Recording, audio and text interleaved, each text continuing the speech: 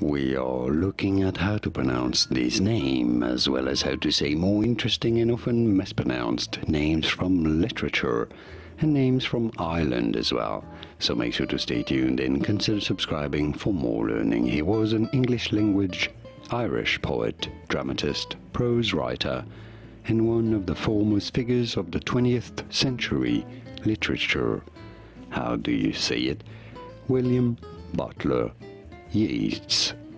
William Butler Yeats. And now you know.